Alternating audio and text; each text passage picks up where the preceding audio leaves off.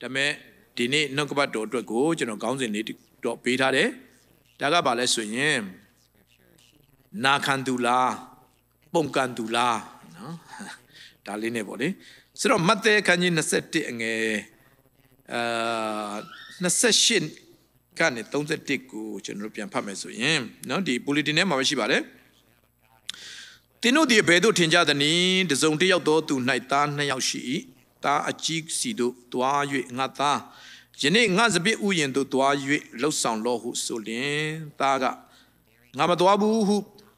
ပြန်ပြောတော်လေနောက်မှနောင်တရ၍တွားလေ၏အဘသည်အခြားသောသားစီတို့တွား၍ရှင်ဤတူအဆိုလျင်သားကတွားပါမည်ဘဟုသခင်သခင်ဟုဆိုတော်လေမတွားဘဲနေ၏ထိုသားနှစ်ယောက်တို့တွင်အဘယ်သူသည်အဘ၏အလိုကို ဆောင်တနည်းဟုမေးတော်မူလျင်သားအကြီးဆောင်ပါသည်ဟုလျှောက်ကြတော့ယေရှုကလည်းငါမှန်ဆိုသည်ကအခွန်ခံတို့နှင့်ပြစ်ဒဇာတို့သည်တင်းတို့အရင်ဖျားသခင်၏နိုင်ငံတော်သို့ဝင်တက်ကြ၏နော်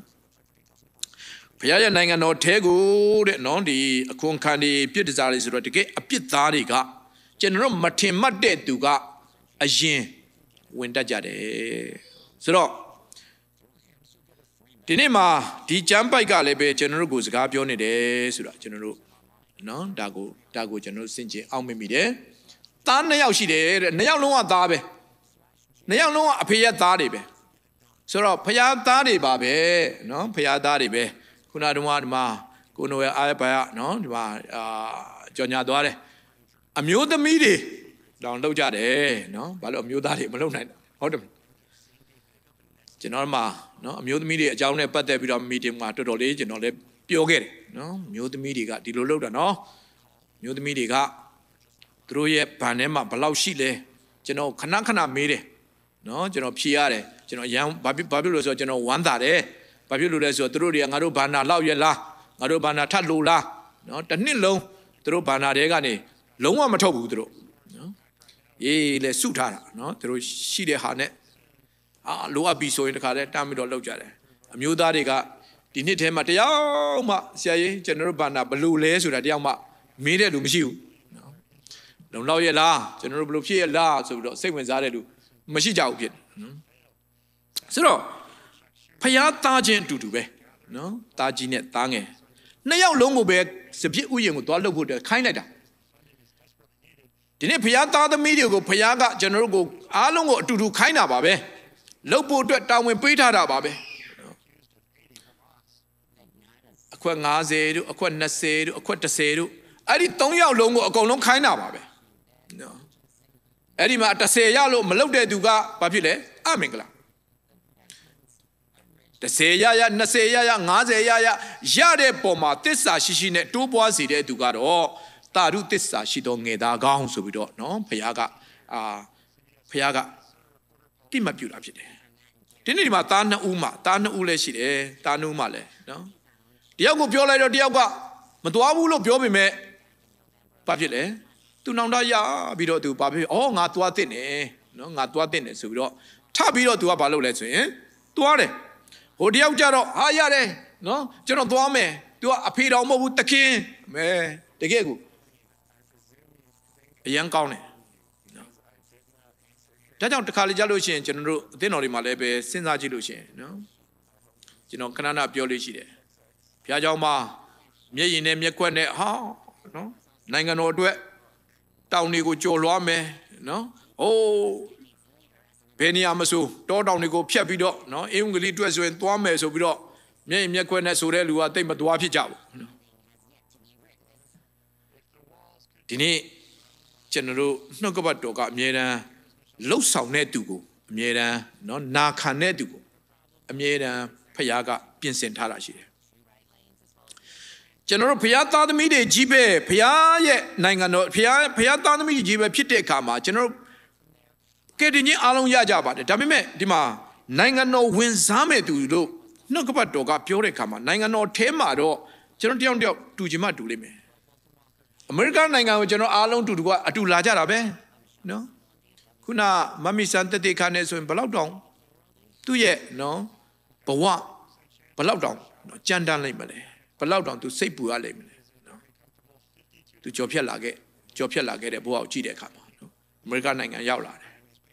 ကျွန်တော်အမေရိကန်နိုင်ငံရောက်လာတဲ့အခါမှာဘယ်သူမှနော်အရင်နည်းတွေအများကြီးနဲ့ကျွန်တော်ရောက်လာတဲ့လူမရှိပါဘူးဒါပေမဲ့ဒီနေ့ချိန်မှာကျွန်တော်တို့ရဲ့အခြေအနေတွေအားလုံးကွာသွားကြပြီနော်အားလုံးကွာသွားကြတယ်ဆိုတော့ ကျွန်တော်ယုံကြည်တယ်ကျွန်တော်တို့နော်သာဝရကာလမှာလည်းပဲကျွန်တော်တို့တွေတယောက်နဲ့တယောက်ကွာတယ်ဆိုလို့ရှိရင်တော့တကယ်ကွာမှာနော်သာဝရကာလမှာဆိုလို့ရှိရင်နော်ကွာတယောက်နဲ့တယောက်ကျွန်တော်တို့အဲ့တုန်းကအဲ့ဒါဘာကနေပဲကျွန်တော်တို့ကိုခွဲခြားပေးမှလဲဆိုရင်တင်ကတတိမထားလိုက်တဲ့အရာလေးကနေပဲကျွန်တော်တို့ကိုခွဲခြားပေးမှဖြစ်တယ်ဆိုတော့ ကျမ်းစာထဲမှာယေရှုခရစ်တော်ကဘာပြောလဲဆိုရင်တို့သမီး10ယောက်အကြောင်းပြောတယ်အဲ့ဒီတို့သမီး10ယောက်လုံးကအကုန်လုံးကတကယ် virgin တကယ်အမျိုးသမီးရုပ်ချောတွေပဲဖြစ်တယ်အကုန်လုံးကယေရှုခရစ်တော်ကိုစောင့်နေကြတာဒီသူတို့သားရဲ့ပွဲတွေကိုဝင်ဖို့အတွက်စောင့်နေတဲ့သူတွေကြီးပဲဖြစ်တယ်ဒါပေမဲ့၅ဦးကဝင်သွားတယ်နော် ၁၀ယောက်လုံးလုံးအိပ်ပျော်နေကြပါတယ်၁၀ယောက်လုံးလုံးသူတို့အနေနဲ့နော်အာသူတို့တွေအိပ်အိပ်ပျော်နေတယ်သို့တော်လည်းပဲသူတို့သားလာတဲ့အခါမှာပွဲကိုဝင်ခံနေခါမှာသူတို့သမီး၅ယောက်ကစီမရှိဘူး၅ယောက်ကစီရှိတယ်ဆိုတော့အဲ့ဒီမှာကျွန်တော်တို့ဒီຢာနဲ့ပတ်သက်ပြီးတော့ကျွန်တော်စဉ်းစားမယ်ဆိုလို့ရှိရင်နော်စီမရှိလို့သူတို့မဝင်နိုင်တာလားစဉ်းစားကြရရှိတယ်ဒါပေမဲ့သေချာကျွန်တော်ကြည့်တဲ့အခါမှာ စီမရှိလို့လည်းမဆိုင်ဘူးစီမရှိလို့လည်းမဆိုင်ဘူးဘာကြောင့်လဲဆိုတော့နာသူတို့သမီးနောက်9ယောက်ကသူတို့ကနင်တို့စီသွားဝယ်ကြဆိုတော့သူတို့သွားဝယ်တယ်သွားဝယ်ပြီးတော့ရလို့ပြန်လာတယ်စီနဲ့ပြန်လာတယ်စီနဲ့ပြန်လာပြီးတော့အမှသူတို့သားကလည်းသူတို့ကိုပြန်ပြီးတော့စကားပြောတယ်သူတို့လက်ထက်မှာစီရှိနေတယ်သို့တော်လည်းပဲဝင်ခွင့်မရဘူးဘာကြောင့်လဲစီကြောင့်မဟုတ်ပဲနဲ့ သူတို့တတိလက်လို့ဖြစ်လို့ဖြစ်တယ်ကျွန်တော်ယုံကြည်သူအသက်တာမှာတတိလက်လွတ်ခြင်းကဘာနဲ့တူလဲဆိုရင်ခုနတုန်းကတန်းငယ်နဲ့တူတယ်သားတော့သားပဲဒါပေမဲ့သွားမယ်နော်ဒါပေမဲ့ तू က तू တခုလုံးလုံးမှာပေါ့အခုကျွန်တော်တို့ကလေးတွေဆိုလို့ချင်းတခုခိုင်းလိုက်လို့ချင်းလုံးမယ်တိုးတော်လေးပဲဘာဖြစ်လဲ game ကစားနေတော့ဘာမှဘာမှမမှတ်မိတော့ဘာလည်းမသိတော့နော်ဆိုတော့ ကျွန်တော်ယုံကြည်သူအသက်တာမှာဒီနေ့ဒီຢာကဘာကိုပြောနေဆိုရင်ကျွန်တော်တို့နာခံတဲ့သူလားမဟုတ်လို့ချင်းကျွန်တော်ပုံကန်နေတဲ့သူလားနာခံတဲ့သူမဟုတ်ဘူးဆိုတော့နော်ကျွန်တော်ပုံကန်တဲ့သူပဲဖြစ်မှာပဲဒါကြောင့်မလို့ကျမ်းစာကကျွန်တော်တို့ကိုတတိလက်လို့မဖြစ်အောင်လို့ဘာဖြစ်လဲမင်းတို့အစင်မပြဲကျေးဇူးတော်ကိုချီးမွမ်းအစင်မပြဲဆုတောင်းမချမ်းမလားဆုတောင်းဆိုတာကကျွန်တော် လောကမှာကျွန်တော်တို့ကိုဖျက်ဆီးခြင်းတဲ့အရာတွေကျွန်တော်တို့အသက်တာကိုချွဲချဖို့ရန်အတွက်အရာတွေကအများကြီးရှိတယ်။တင်ကယ်တင်ခြင်းရတယ်။တင်ကယ်တင်ခြင်းကိုတော့ဘယ်သူမှလွတ်လို့မရဘူး။တင်ငရဲတော့မသွားတော့ပါဘူး။မှန်ပါတယ်။သို့တော်လည်းပဲတင့်ရဲ့ယုံကြည်သူတင့်ရဲ့ဝိညာဉ်အသက်တာကိုတော့ဖျက်ဆီးဖို့အတွက်စာရန်ကနေတိုင်းဆွဲဆောင်နေသေးတယ်။နေ့တိုင်းတင့်ကိုဖျက်ဆီးနေဖျက်ဆီးဖို့ရန်အတွက်ချောင်းမြောင်းနေသေးတယ်။ဒါကြောင့် ဒီနေ့မှာကျွန်တော်ဘာဘာကိုစဉ်ဘာကိုစဉ်းစားမိလဲဆိုရင်ကျွန်တော်တို့တွေကျွန်တော်တို့ရဲ့လောကအသက်တာအတွက်ကျွန်တော်တို့အများကြီး plan နေနေဆွဲကြတယ်နော်အခုဆိုရင်ကျွန်တော်တို့ဖွဲ့တွေကနော်အာလွန်ခဲ့တဲ့လွန်ခဲ့တဲ့10နှစ်10နှစ်15နှစ်လောက်တုန်းကတော့ကျွန်တော်တို့တွေကဘာတကယ်နော်အာတန်တမမ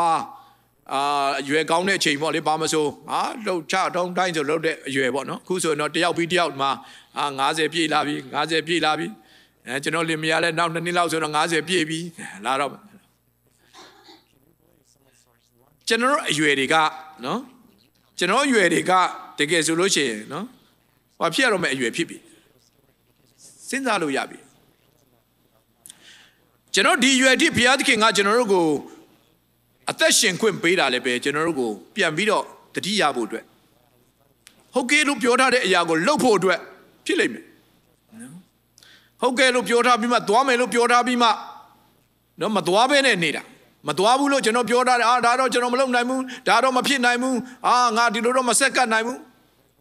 ကျွန်တော်လောကအတွက်တော့ကျွန်တော်တို့အမြဲတမ်း plan နေနေဆွဲထားတယ်အာဒီအလုပ်ပြီးဒီအလုပ်မယ်ဒီအလုပ်ပြီးဒီအလုပ်မယ်ဒီဆိုင်ရဒီဒီလိုလိုဆက်လုပ်မယ်ကျွန်တော် plan နေနေဆွဲထားတိုးတော်လည်းပဲကျွန်တော်လာမဲ့ကျွန်တော်တို့ရဲ့နော်ဒီ အာဝိညာဉ်အသက်တာအတွက်ထာဝရသက်တာအတွက်ကိုကျွန်တော် planning ဆွဲကြလားကျွန်တော်တို့ဝိညာဉ်ခန္ဓာအတွက်ကိုကျွန်တော် planning ဆွဲကြလားကျွန်တော်ဝိညာဉ်သက်တာအတွက်လည်း planning ဆွဲဖို့အတွက်ဒီနေ့ဒီနေ့ယေရှုခရစ်တော်ရဲ့နှုတ်ကပတ်တော်ကိုကြည့်တဲ့အခါမှာအမြဲတမ်းဒီကျွန်တော်တို့အာဝိညာဉ်သက်တာအတွက်ထာဝရသက်တာအတွက်အမြဲတမ်းပြင်ဆင်ဖို့အတွက်နော်ယေရှုခရစ်တော်ကအမြဲတမ်းပြောနေတာဖြစ်တယ်ဆိုတော့ဒီမှာနော်ကျွန်တော်တို့နိုင်ငံတော်ထဲကို ဝင်စားဖို့အတွက်တခါကြလို့ရှိရင်ကျွန်တော်တို့စင်ကျင်အရန်ပေးတယ်နော်လွန်ခဲ့တဲ့ဘက်ကဆိုရင်ကျွန်တော် home sale နော်အခုနောက်ပိုင်းဆိုရင်ကျွန်တော်တို့ဘယ်သူကမှနော်အာလာနော်မခေါ်တော့ပါဘူးဟိုရင်တော့ဆိုရင်ကျွန်တော်တို့ဟိုစကားစားဆိုဘုရားကျောင်းတက်ဖို့တောင်မှနော်အတကုံကျွန်တော်တို့အာဒီနေ့နေ့မနေ့ဆိုခေါ်ပြီးအာဒီနေ့ဘုရားကျောင်းလာနိုင်မှာမလားဘာညာကျွန်တော်ခေါ်ရတော့နော်အာအတကုံခေါ်ရတာအခုနောက်ပိုင်းကျွန်တော်တို့ ဟိုအမြဲတမ်းခေါ်နေရတယ်ဆိုလို့ချင်းတော့မဟုတ်ဘူးနော်အမြဲတမ်းကလေးတယောက်ကဟို6လပြည့်လေ6လပြည့်တဲ့အချိန်မှာသူ့ကိုနော်ထမင်းခွန့်ကြွေးတာတော့မှန်ပေမဲ့နော်10နှစ်သားရောက်လဲထမင်းထက်ခွန့်ကြွေးနေရတယ်15နှစ်လည်းခွန့်ကြွေးနေရတယ်အခုအသက်50ပြည့်ပြီထမင်းခွန့်ကြွေးနေရတယ်ဆိုရင်ဒါမဟုတ်တော့ဘူးကျွန်တော်တက်တာရင့်ကျက်တာမဟုတ်တော့ဆိုတော့ကျွန်တော်တက်တာမှာနော် စင်ကျင်ပေးတတ်တယ်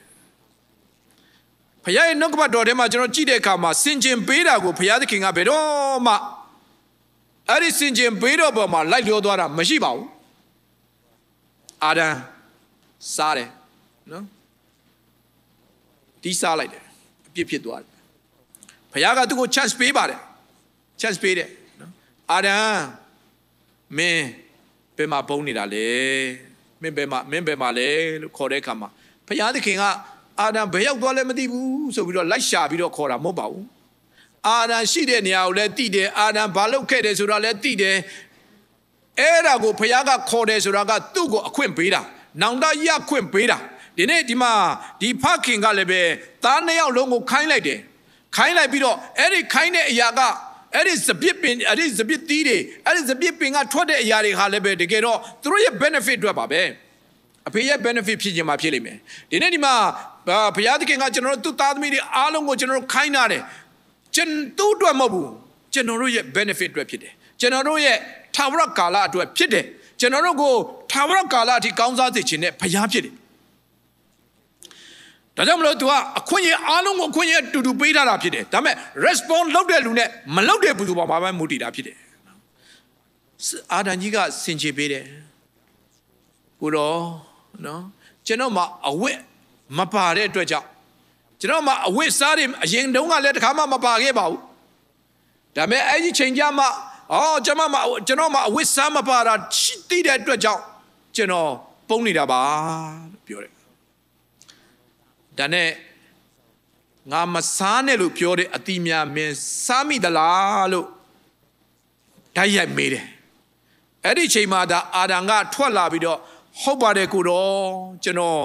စားမိပါတယ်လို့ပြောမိရင်သူ့အတွက်ဟိုဘက်မှာအသက်အပင်ကရှိထားပြီးသားဖြစ်တယ်ဒီနေ့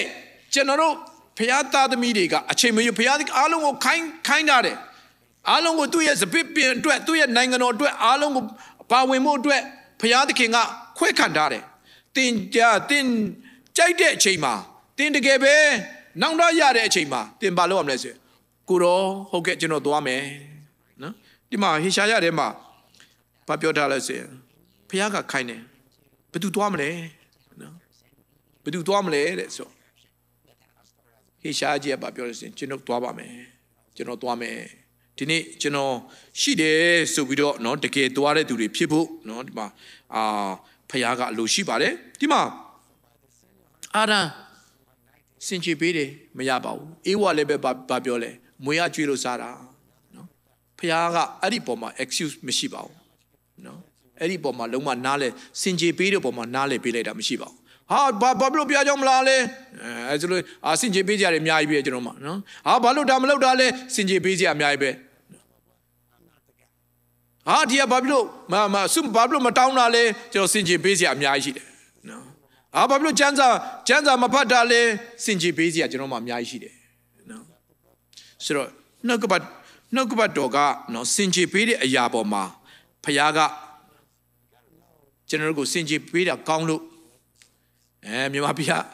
မြန်မာပြည်အဖွဲ့တွေလည်းအမြဲတမ်းသူတို့ကစင်ကြယ်ပေးဖို့အတွက်ပဲတချို့ကျဆိုလို့ရှိရင်ရှာနေကြတာနော်အမေရိကလူကိုစင်ကြယ်ကောင်းကောင်းပေးပေးနိုင်ရင်သူတို့တွေပို့မှာပဲနော်ငွေပို့မှာပဲဆိုဒီမှာဒီမှာအသေးအတန် ဟိုကိုယ့်ရဲ့အိမ်ဘီပေးဖို့တော့အသေးအတန်လုံးပန်းနေရတာသူတို့သိမသိကြဘူးနော်စင်ကြယ်ပေးတာကောင်းလို့ရှိရင်တော့သူတို့ပို့မှာပဲနော်ဒီခါကြလို့ရှိရင်ကျွန်တော်ရှိမှာအများအများကြီးပဲရောက်လာဘူးဒီဟာကြောင့်ဒီဟာကြောင့်ဟွာကြောင့်ဟွာကြောင့်နော်မောရှိလဲစင်ကြယ်ပေးတယ်ဟာကိုတော့မလုပ်ပါနဲ့နော်တခြားလူကိုခိုင်းတခြားလူကိုခိုင်းလိုက်ပါအာကျွန်တော်စကားထစ်တယ်အမောရှိဆိုစင်ကြယ်ပေးတာလေ အမျိုးမျိုးပဲကျွန်တော်မလုပ်နိုင်ဘူးနော်ကျွန်တော်မလုပ်နိုင်ဘူးပြမယ်ဖျားသခင်ကမောရှိတာဆိုမင်းမှာပါရှိလေမေတော့ဘာမှမရှိဘူး तू ဘာမှသုံးလို့မရတဲ့နော်တန်ဖိုးလည်းမရှိတဲ့ကြိုက်တဲ့ချိန်ဘယ်နာဘယ်နာဘယ်နာမှမဆိုတစ်ကိုင်းတစ်ကိုင်းကိုခုတ်ပြီးတော့နော်ခုတ်လိုက်လို့ရတဲ့ဘာလဲတောင်ငွေးလေးကိုအဲ့ဒါလေးအဲ့ဒါလေးပဲရှိတယ်လို့အမှန်တော့ तू ပြောချင်တာက ကျွန်တော်မသုံးနဲ့ဘာမှမလုပ်နဲ့ဒါပဲရှိတယ်ဆိုတော့ဖခင်ကလည်းရတယ်နင်အဲ့ဒီဘာမှမရှိမဟုတ်တဲ့ဟာလည်းငါသုံးမယ်နင်တုတ်ကိုနင်တုတ်ကိုအောက်မှာချလိုက်ချလိုက်တဲ့အခါမှာဘာဖြစ်သွားလဲမွေဖြစ်သွားတယ်ပြန်ကောက်လိုက်တဲ့အခါမှာတောင်ဝေးပြန်ဖြစ်သွားတယ်နော်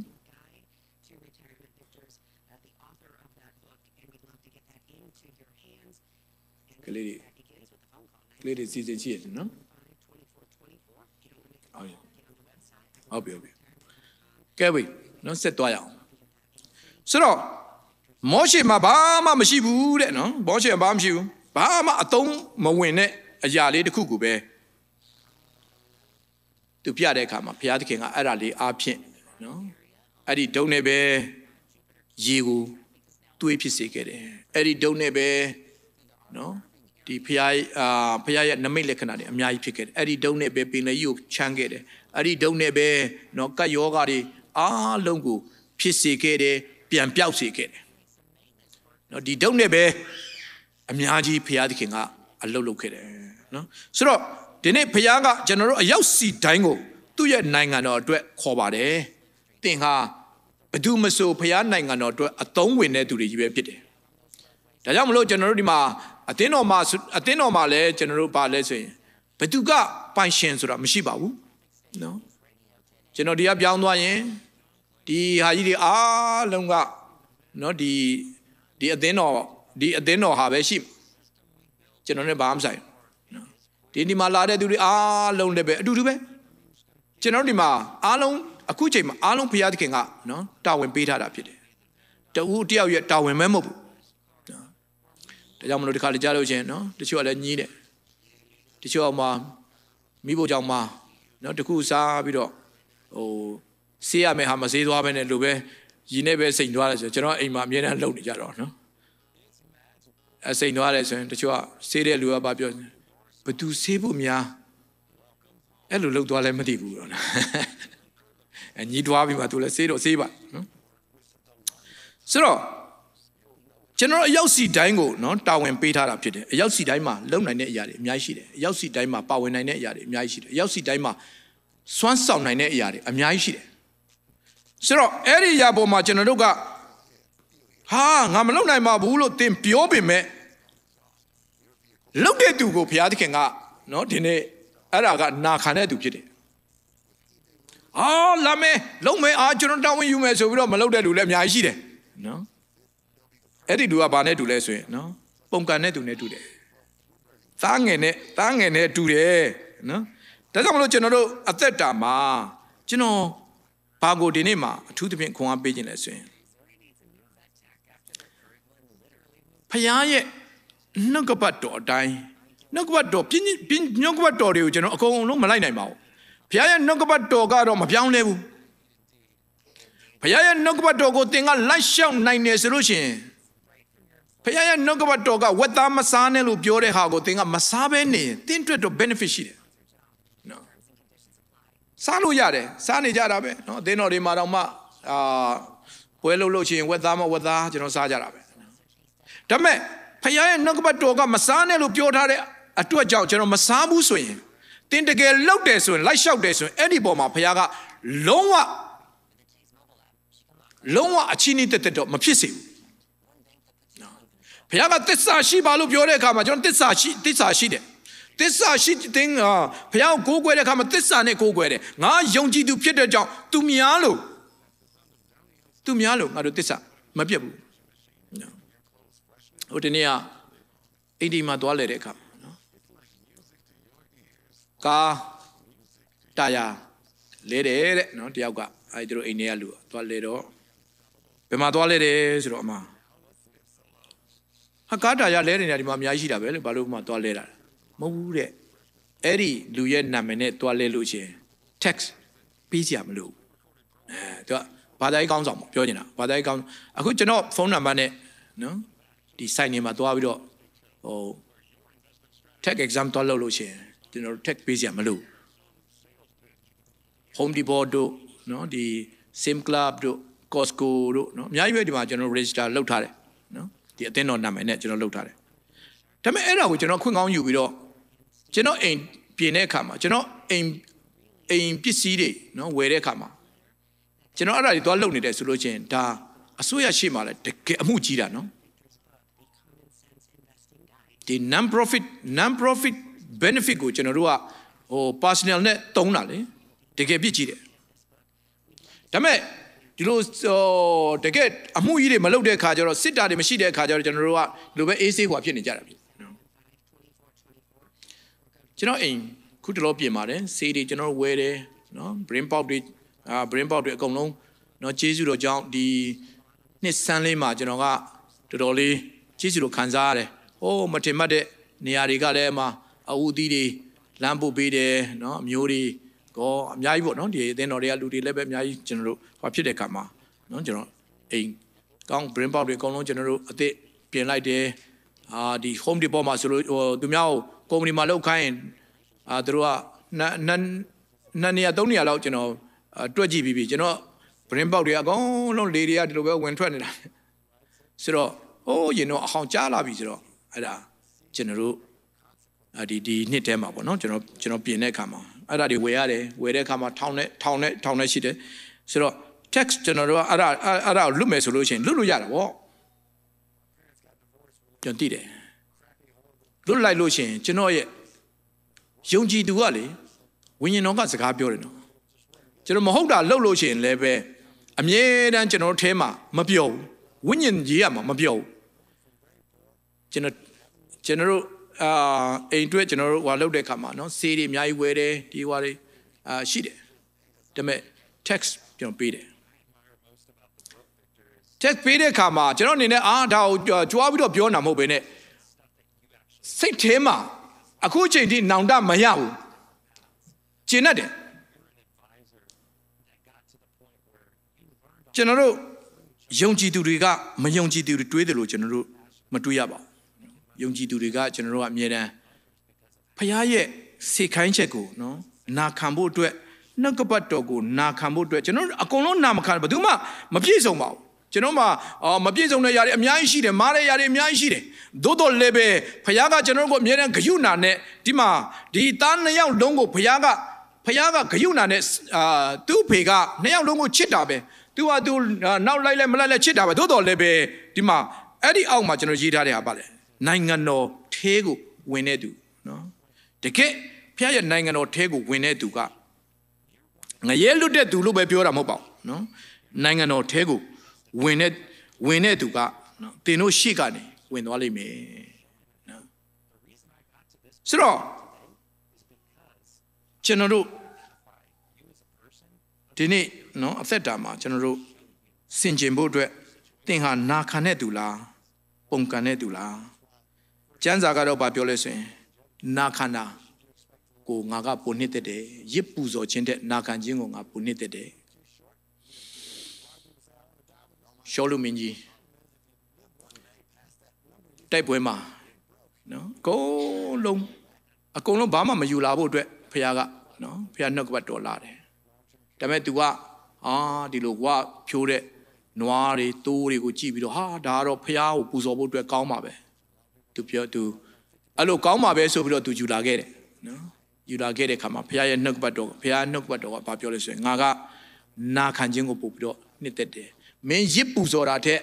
မင်းရှိကငါကငွေလိုလို့တောင်းနေတာမဟုတ်ဘူးမင်းရှိမင်းကူညီတဲ့ဟာကိုငါလိုအပ်နေတာမဟုတ်ဘူးမင်းနာခန္ဓာကိုငါတောင်းနေတာတခါလေကြာလို့ရှိရင်ကျွန်တော်တို့ကဟာကျွန်တော်ကိုယ်တိုင်လဲနော်ရင်တော့ကအမေရိကငါရောက်လို့ရှိရင်ဘာပဲဖြစ်နော်ဟာဒေါ်လာ နေရလို့ရှိရင်ဟာဒေါ်လာ90ဒေါ်လာ90ဒေါ်လာ90နဲ့လူ10ယောက်တလားကိုငါ900နဲ့နော်ဒီအသင်းတော်တွေမှာလည်းဖျားရှိခိုးကြမလို့တော့ဘူးတလား900နဲ့ဟိုမှာမြန်မာပြည်မှာထောက်ပံ့ပြီးတော့ missionary 10ယောက်ငါလွတ်မယ်အဲအဲ့လိုစိတ်မျိုးတော့ကျွန်တော်မှရှိခဲ့တယ်ဒါပေမဲ့ကျွန်တော်လွတ်မဲ့ကျွန်တော်သွားပြီးတော့ sponsor ပေးမဲ့ missionary 10ယောက်အတွက်ဖရားဝမ်းမမြောက်ပါဘူးဖရားဝမ်းမြောက်တာက ကျွန်တော်ကိုယ်တိုင်ကသူ့ရဲ့နှုတ်ကပတ်တော်နာခံနေတာသူပို့ပြီးတော့ဝမ်းမြောက်တာဖြစ်တယ်သူ့မှာနီလာနဲ့အများကြီးရှိတယ်သူ့မှာလောက်လောက်ဘလို့လုံနိုင်တဲ့စွမ်းအစွမ်းနဲ့အများကြီးရှိတယ်သို့တော်လည်းပဲသူ့နေလို့ချင်တာကနော်ဒီမှာဖခင်ကဒီသားနှစ်ယောက်ကိုခိုင်းမှသူသူ့စပစ်ပင်ကသူ့စပစ်ဥယျင်ကကောင်းမှာမဟုတ်ပါဘူး။ तू အလုတ်သမားတွေအများကြီးခေါ်လို့ရတယ်။ तू ကြိုက်တယ် तू ခိုင်းလို့ရတယ်။ तू ကတထေးပဲ။ तू ကြိုက် तू ကြိုက်တယ်လို့ तू လှုပ်လို့ရတယ်။ဒီသားတွေဒီသားတွေလှုပ်မှသူ့စပစ်ဥယျင်ကကောင်းလာမှာမဟုတ်ပါဘူး။ ဒါပေမဲ့သူ့သားနှစ်ယောက်ကိုဘယ်သူကနော်သူ့ရဲ့စကားကိုနာခံလဲဘယ်သူကနာခံတဲ့သူဖြစ်တယ်လဲနော်ဘယ်သူကပုံကန်နေတဲ့သူဖြစ်တယ်လဲဆိုတာကိုအာအဲ့ဒါကို तू ကစမ်းသပ်တာဖြစ်တယ်နော်ဒီမှာရှင်လုကာခန်းကြီး16အငယ်19 31ကိုကျွန်တော်ကြည့်လို့ရှင်ဘာအကြောင်းတွေ့ရလဲဆိုတော့တထေးကြီးနဲ့လာဇရုအကြောင်းကျွန်တော်တွေ့ရတယ်နော်တထေးကြီးကသူ့မှာ chance တွေအများကြီးရှိခဲ့တယ်ဘုရားကိုသူလည်းသိခဲ့ပါတယ်ဒါပေမဲ့ तू तू အဲ့ဒီအချိန်မှာ तू ဘုရားကို तू တတိလက်လွတ်နေခဲ့တယ်တတိလက်လွတ်နေခဲ့တဲ့ခါမှာနောက်ဆုံး तू ဘယ်ရောက်သွားလဲဆိုတော့ငရဲကိုရောက်သွားတယ်လာဇရုကသူ့အောက်ကနေပြီးတော့သူ့ဇပွဲကနေကြတဲ့အစားအစာလေးတွေခွေးတွေနဲ့အတူနေတဲ့သူဖြစ်တယ်ဆိုတော့ဣတိလလူမျိုးမှာခွေးဆိုတာကတကယ်ကိုသူတို့ယွန်ရှာတဲ့အရာလုံးဝခွေးဆိုတာကသူတို့အတွက်သွားထိလို့တော့မရတဲ့ဟာ သွားထိအောင်မှသူတို့သူတို့အတွက်မတန့်ရှင်းတော့တဲ့အကောင်ဖြစ်တယ်နော်အဲ့ဒီအကောင်နဲ့အတူတူနေတဲ့လာဇရု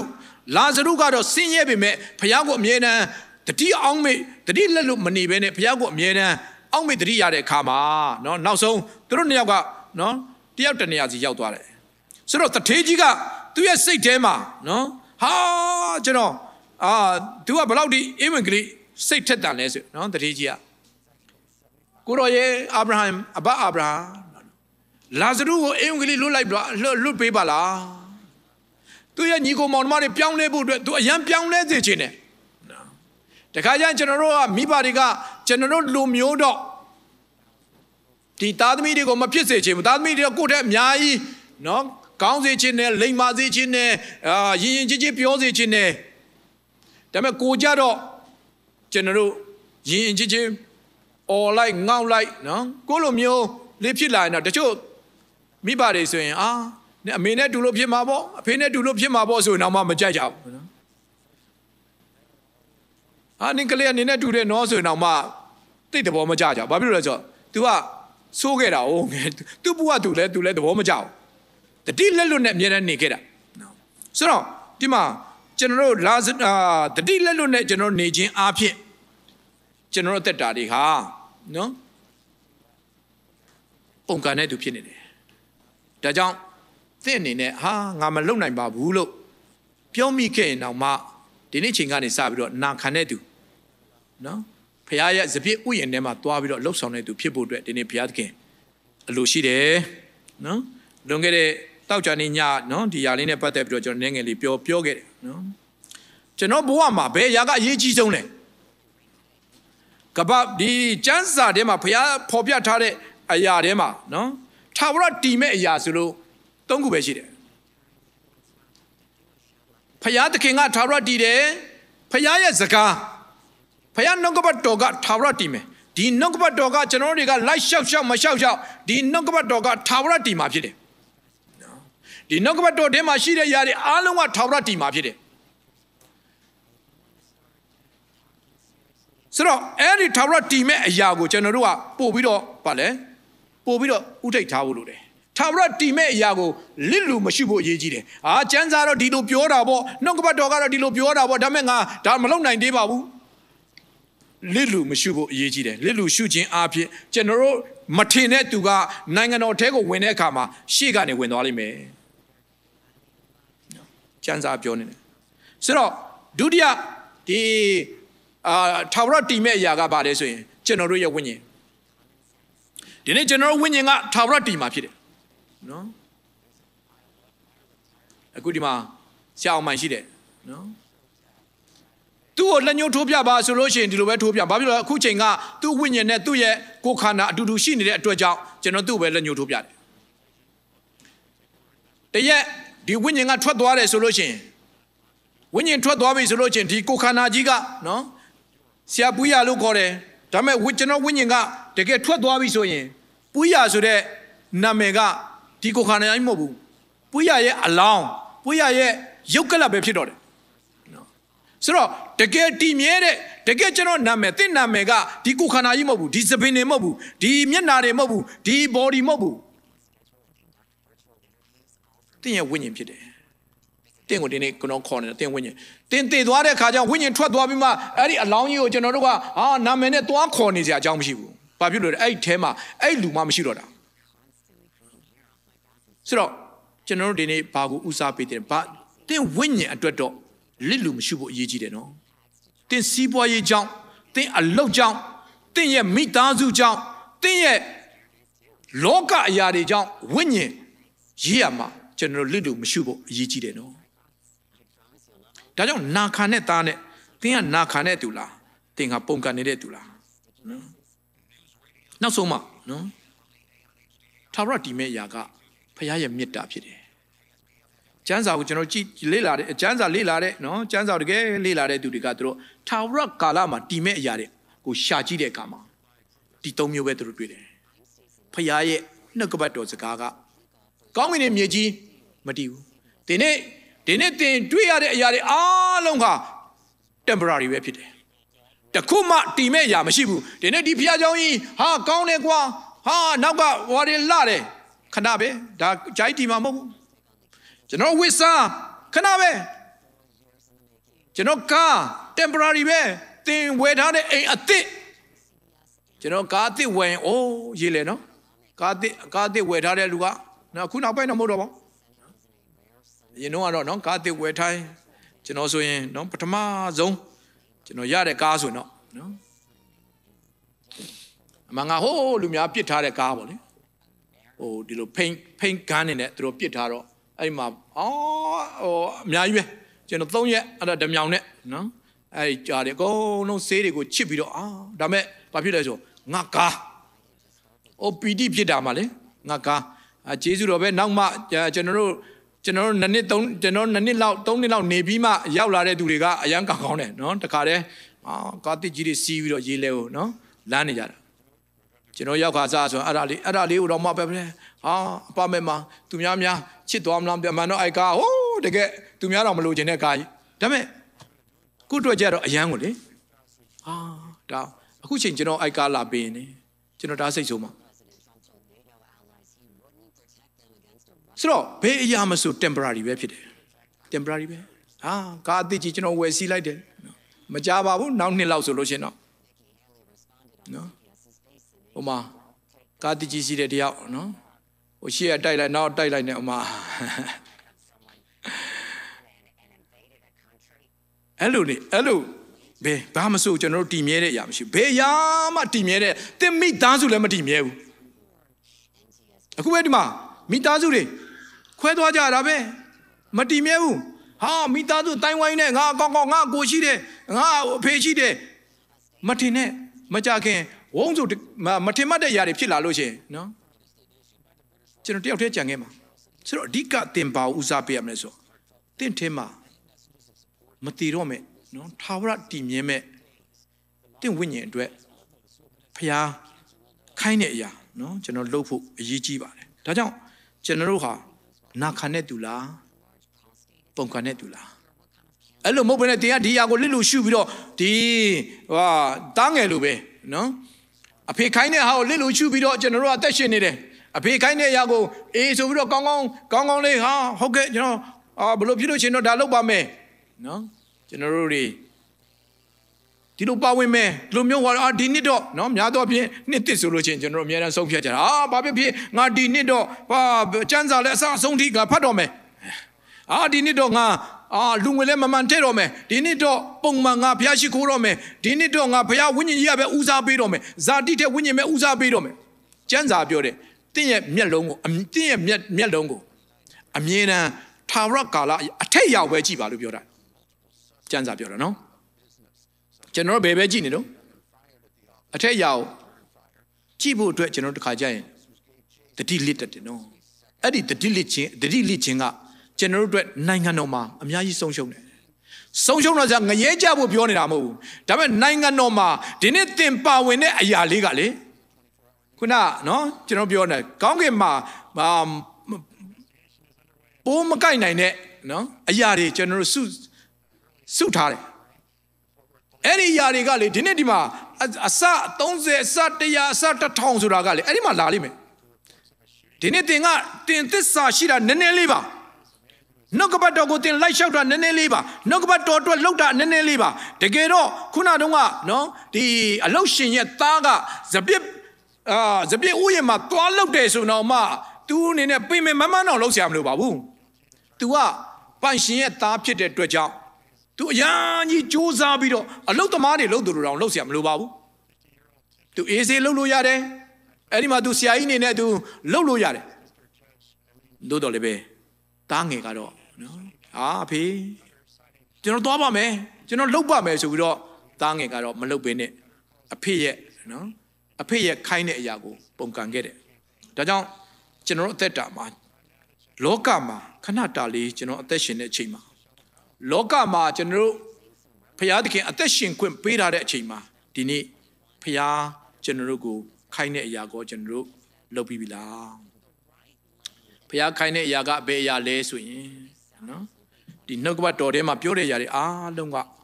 ကျွန်တော်တို့ကိုဖရာသခင်ကကျွန်တော်တို့ benefit ရဖို့အတွက်ဖရာသခင်ကကျွန်တော်တို့ကိုရေးထားတာဖြစ်ပါတယ်သစ္စာရှိခြင်းနူးညံ့သိမ်မွေ့ခြင်းနော် ကျွန်တော်အသက်တာမှာ character တွေ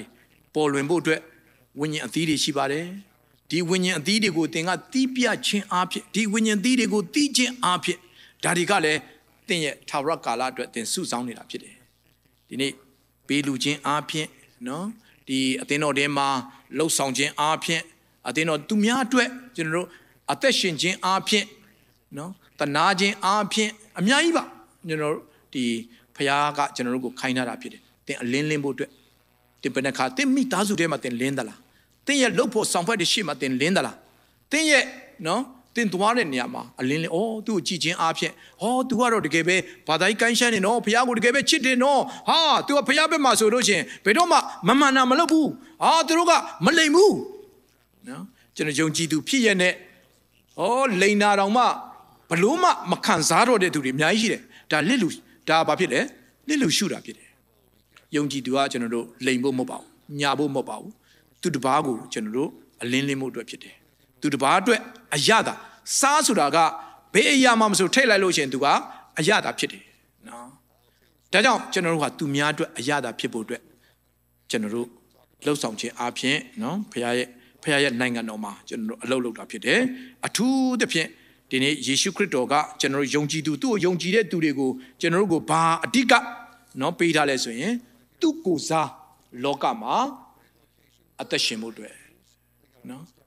ယေရှုရဲ့စိတ်နဲ့သဘောထားနဲ့အသက်ရှင်ဖို့အတွက်ယေရှုခရစ်တော်ရဲ့လှုပ်ဆောင်မှုတိုင်းမေတ္တာနဲ့အသက်ရှင်ဖို့အတွက်ယေရှုခရစ်တော်လူမျိုးပဲကျွန်တော်တို့အသက်တာတွေကလောကမှာအသက်ရှင်ဖို့အတွက်ဒီလောကမှာအလုပ်လုပ်ဖို့အတွက်ကျွန်တော်အားလုံးကိုဘုရားသခင်ကစေခိုင်းထားတာဖြစ်တယ်အဲ့ဒီမှာသင်ကနာခံတဲ့သူလားဟုတ်ကဲ့ဆိုပြီးတော့မတော်ပဲ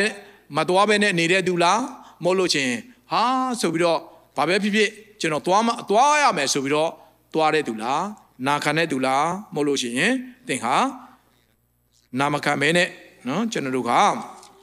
ပုံကန်နေတဲ့သူလားဆိုတာနော်ကျွန်တော်တက်တာကိုဆင်ခြင်အောင်မိပြီးတော့နော်ဖခင်နိုင်ငံတော်မှာနော်နိုင်ငံတော်မှာဝင်စားဖို့အတွက်ဖခင်ရဲ့နိုင်ငံတော်မှာကျွန်တော်တို့တွေနော်ဖခင်နိုင်ငံတော်မှာတကယ်ပဲထာဝရကာလမှာကျေပွင့်နေ ဖြစ်လာဖို့အတွက်နော်ဒံရင်လာထဲမှာပြောထားတယ်ဖခင်နိုင်ငံတော်မှာကျေပွင့်နေကျေပွင့်ဆိုတာမြင်ရတယ်လူတိုင်းမြင်ရတယ်လူတိုင်းကအော်ဆိုပြီးတော့နော်မြင်ရတဲ့လူတွေအာဖြစ်ဖို့အတွက်ဘုရားသခင်အလိုလိုရှိတယ်ဆိုတာနော်ခွန်အားပေးခြင်းနဲ့အရောက်စီတိုင်းအတွက်ဘုရားသခင်တစ်တပံကောင်းချီးပေးပါစေအာမင်